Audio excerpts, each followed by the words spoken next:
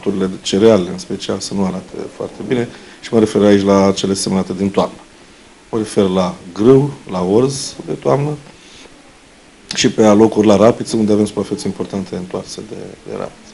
Și pe rapiță am avut undeva la 25-26 de mii de hectare semnate în toamnă și am mai rămas cu aproximativ 15-16 mii de hectare. Deci undeva la 90.000 de hectare au fost, uh, au fost întoarse. Într-adevăr, fermierii au motive să fie îngrijorați de producțiile viitoare. Se va decala foarte mult sezonul de, de trăierat, de recoltare. În mod normal, uh, cred că cu vreo două, trei săptămâni uh, se va decala, deci după 1 iunie ne așteptăm la, să intre combinele la trăierat. Din, din păcate. Cu grâu avem și cam cât ar fi compromisă?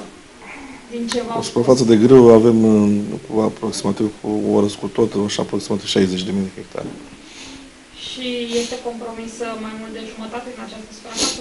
Um, compromisă, compromisă, să zicem așa, jumate sau, sau 100%, în sensul că dacă fermierii erau obișnuiți ani, cu ani în urmă să, să obțină 5-6 tone, o, deci că era o medie de 4-5 tone la hectar, de data asta va fi la jumătate, une, în unele locuri poate chiar sub 1000 de, de kilograme la hectar.